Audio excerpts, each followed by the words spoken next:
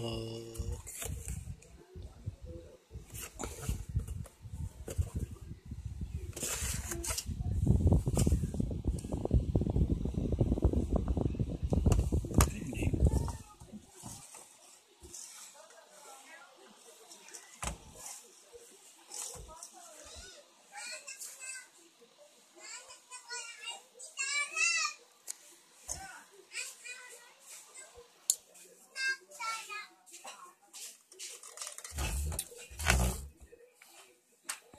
Uh, aluminum blade